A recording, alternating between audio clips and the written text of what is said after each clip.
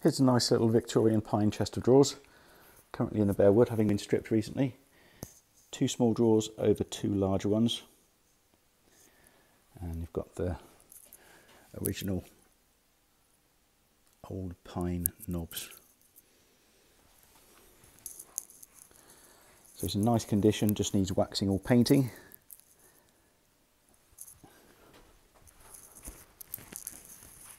I'll obviously, obviously make sure the drawers are sliding nicely for you, but I think they are at the moment anyway.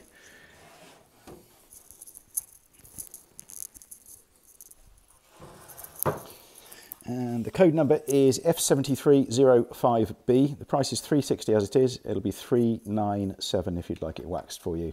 The height, 32 and a half inches. The width at the widest point is 34 and a half. Depth at the deepest point, which is at the top also, 17 and a half inches.